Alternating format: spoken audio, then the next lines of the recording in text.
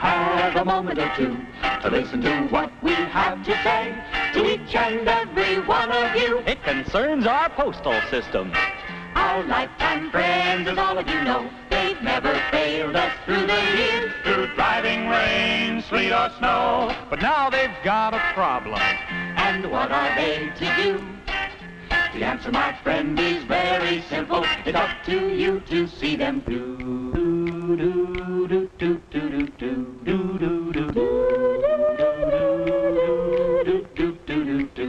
Well, back in the days of the 13 colonies, cry was freedom and how to defend it. Mailing a letter wasn't much trouble. There weren't too many places to send it. But now it's a different story. They've got more mail than ever before. It's stuffed in bags, stacked on shelves. There's hardly room for anything more. There's been a mail explosion. They've got a terrible load. You've got to help them right away before the U.S.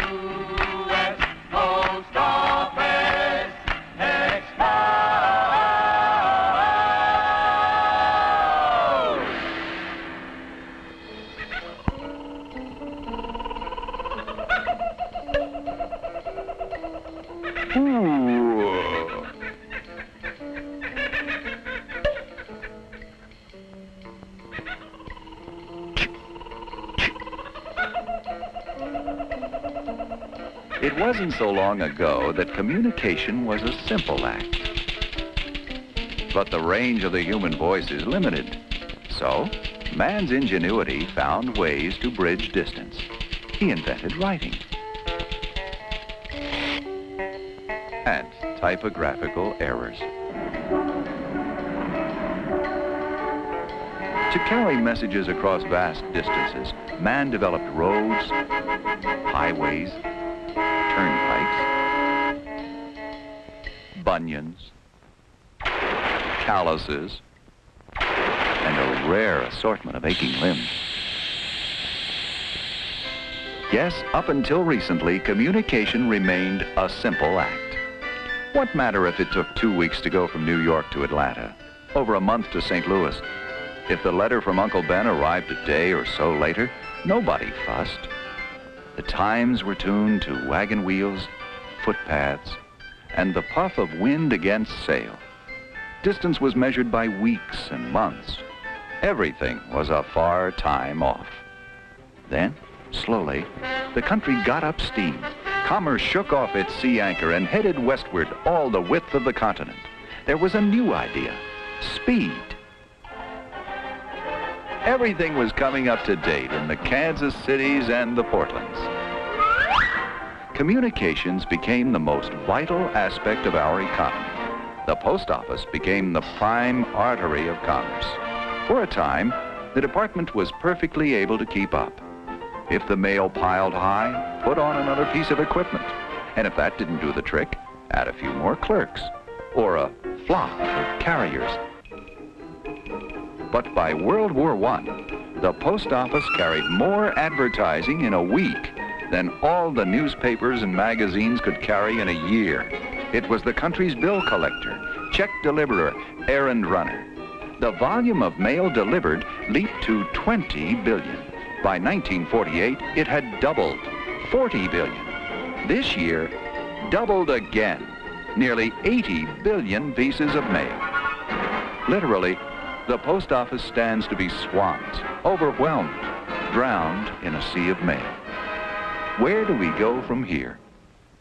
Patchwork, piecemeal solutions based upon obsolete transportation routes will not work. The answer has to be as new as the challenge is new. And the post office has the only logical answer. Zip code. Mail distribution via the straight line. Always the shortest distance between two distant points. Zip code. Five trailblazing numbers like this one launch every piece of mail with space-age speed and precision.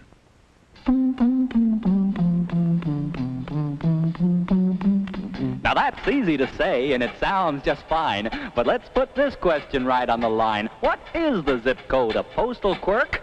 What does it do?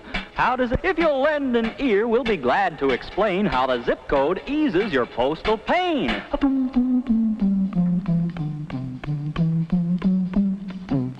First digit tells in which part of the nation your letter will find its destination. Since the country's divided into ten big sections, each with a number to establish direction, your letter has even departed. We've already got it started. The next two digits go hand in hand to a major post office over land. Since each big section has town after town, We need these numbers to really narrow things down. We've got the section, we've got the city. Just two more numbers and we're sitting pretty.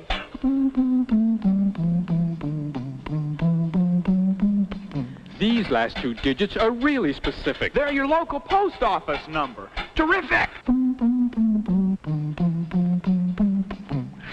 A system. As you can plainly see, just five little numbers. Quick as can be. But if you have a question or you have a doubt, if you're still not sure what the whole thing's about, just always remember, zip code defined. Means city to city in one straight line. but don't take it from us. Don't take it from me. Try it yourself. You'll see. It's a better deal than you'll get from any other post office department. And those zip code numbers will help clear up two of the major problems that give the post office department fits. Seen? The dead letter office. Have you ever asked yourself this question? Why do postal clerks get indigestion? There are many reasons. I won't bother to list them. It's all the stamp glue we take into our systems. I guess that's as logical as a man could get. But that's not the reason for their stomach upset. It's from trying to read the American hand, illegibly written throughout the land. This letter will prove exactly what we've said. The name of the city simply can't be read. Oakdale. Oakfield, Oakhurst. Oak Park? Oakwood. Tuscaloosa. Tuscaloosa? Tuscaloosa? Now you see what we mean? If the writing's no good, this letter might as well be carved out of wood. And if you think bad handwriting is only hard on your eyes, just try this problem on for size. I got a letter here for somebody from Springfield. Springfield? I'm from Springfield, Massachusetts, and I'm telling you, pal, there's no place I'd rather be. I'm from Springfield, Pennsylvania, and there's been a mistake. This letter is apparently for me. I'm from Springfield, Arizona, and I want you to know I've been waiting for this letter since a weekend ago. Oh, what good does it do to send a letter my way when I'm from Springfield, USA? I have looked into this problem and I'm telling you boys, you're angry and you have a right to be. There are very many 24 Springfields causing postal delays, and they're all abbreviated with a two-letter phrase. Oh, what good does it do to send a letter my way when I'm from Springfield, USA? There's a Springfield R and a Springfield O. A Springfield flaw and a Springfield bow. A Springfield ill and a Springfield id. A Springfield tie and a Springfield Sid. There's a Springfield nib and a Springfield dog. There's a Springfield Nidge and a Springfield Pa. There's a Springfield or and eleven more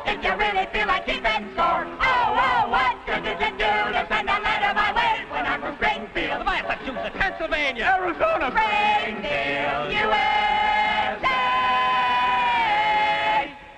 Zip code is bringing the mail explosion under control. It is as up to date as the computer, as timely as the fantastic zip code scanner, electronically reading zip codes and sorting the mail. It is a success. But to make zip code work, you must use it. Remember, you can put zip in your postal system. The Postmaster General of the United States, the Honorable Lawrence F. O'Brien.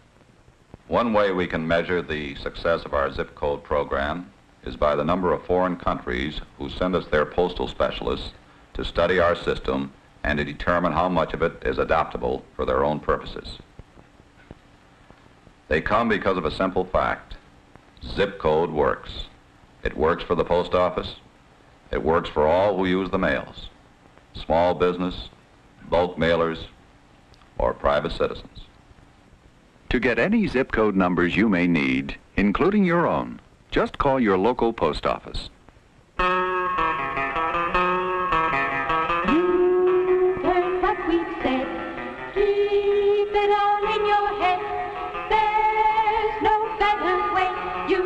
Go!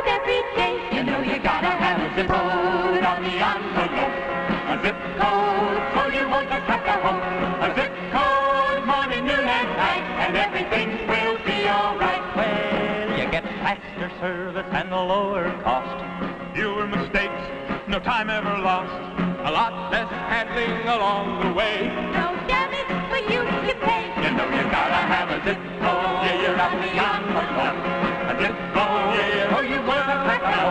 A zip code, oh, yeah, your morning will go down, and everything will be alright. Well, meet a fella called Mr. Zip. What he can do for you will really make you. So if you have any further postal demands, we're gonna leave you in his hands. You know you gotta have a zip code. Yeah, you gotta a zip code. Yeah, you gotta a will down, and everything will be. And now, my friend, We'll say so long.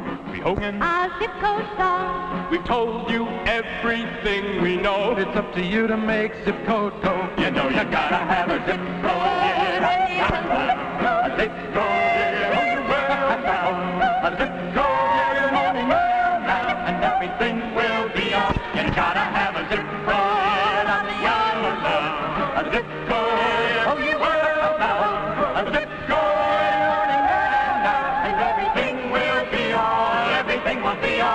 Everything will be.